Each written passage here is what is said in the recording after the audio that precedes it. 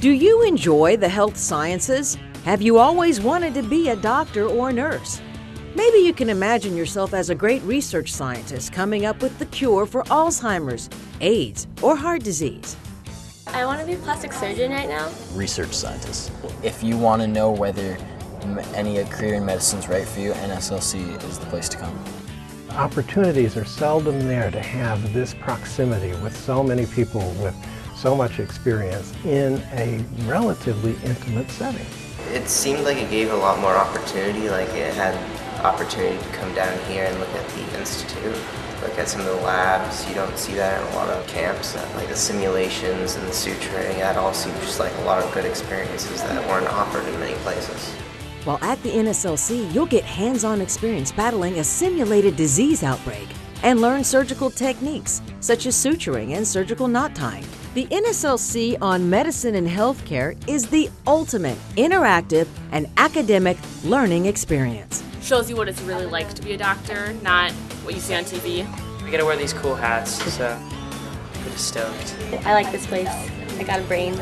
Part of our mission is to help the students become leaders and healers. We're trying to give them skills that will help them to be better world citizens, whether it be in the field of medicine and healthcare, in engineering, or in any of the other fields that are possible. The NSLC on Medicine and Healthcare is offered in Washington, D.C., San Francisco, and Chicago. In Washington, D.C., students visit the University of Maryland School of Medicine, the National Institute of Health, and the Walter Reed Medical Center.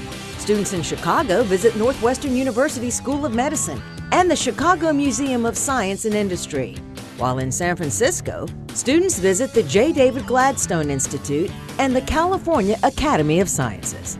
Even the lectures, it's interactive and the stuff he's asking us is relevant to what we're going to be doing in our future.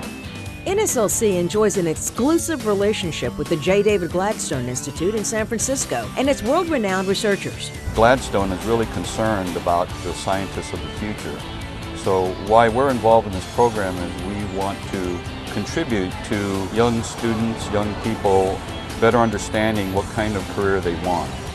I've made a lot of new friends and met a lot of new people, and I think that's pretty cool. By the end, people are just attached to each other. They're crying, they're like not wanting to go home, and it's, it's a great opportunity for them to really bond over the common career goals and common habits and those kind of things. And so it's just really a great way to see that.